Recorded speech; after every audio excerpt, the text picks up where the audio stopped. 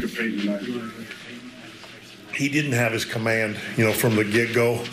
Um, stuff was flat, flatter than we've seen, and a lot of deep counts. I think it's what first couple innings, so many pitches. It's just hard for him to settle in. You know, the good part of it was he stayed out there because it didn't look like he was going to last real long, and that could have been made a difficult night worse. What did their starter do to kind of keep you guys off balance? you know, it seems like, and I get it, you get modes where trying to hit yourself going and you start swinging into everything. And we're going to have to be more disciplined.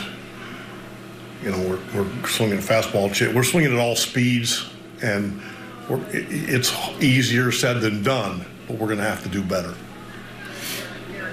Where does tonight leave you with a plan for tomorrow? We're actually walking through it now. We haven't.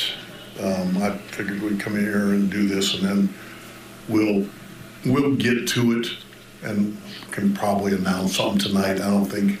I just would. I knew we need to talk to some people first.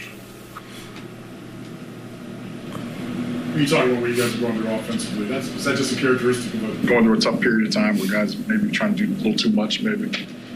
Yeah, I think there's combination of things. You know, um, seeing some good, some you're seeing some good pitching.